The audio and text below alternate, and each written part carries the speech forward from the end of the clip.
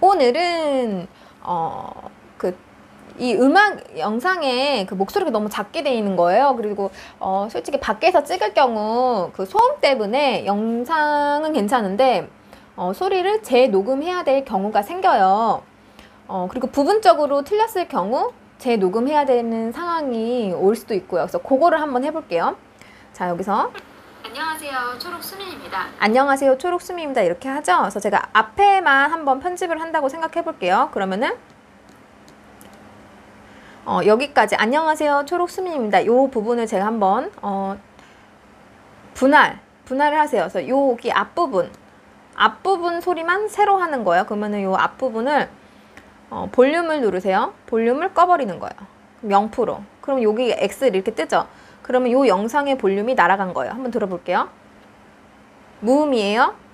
그리고 어, 저번에 보여드린 립토스 중에 요게 어, 저번에 보여드린 조금 립토스 중에 이렇게 나오죠. 그럼 여기다가 제가 어, 새로 음악을 그 목소리를 편집해서 넣으려고요. 그럼 음악을 누르시고요. 녹음. 녹음 보이시나요? 너무 빨랐나요? 자, 여기에서 음악. 음악 보이시죠? 음악. 음악을 누르세요. 그리고 녹음. 녹음 누르시면 그 녹음 녹음해서 지금 제가 얘기하는 게 바로 지금 찍히는 거예요. 좀 보세요. 이렇게 빨간불이 나오죠? 이거 누르면 그때부터 노- 녹음이 되는 거예요. 립토스가 좋아요. 자, 여기까지 녹음 씨가 시킨 거예요. 여기 넘어가시면 안 돼요. 근데 뭐 자를 수 있으니까 해볼게요. 들어볼게요. 립토스가 좋아요. 어, 저번에 보여드린 자, 저번에 이렇게 되죠? 제가 그래서 요게 마음에 드시면 요걸 누르시면 요대로 입혀지는 거예요. 들어볼게요. 립토스가 좋아요.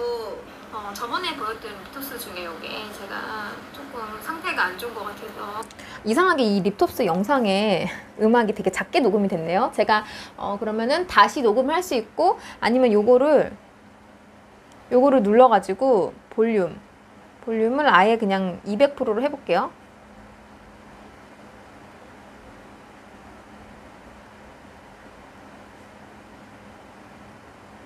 저번에 보여드린 립토스 중에 요게 제가 조금 상태가 안 좋은 것 같아서 어, 지- 음 단점이 있는데 제가 볼륨을 200% 하니까 잡음이 되게 커지네요. 어, 볼륨을 볼륨 200%까지는 안 되나 봐요. 150까지는 괜찮을 것 같은데 소리가 되게 작게 됐네요. 음.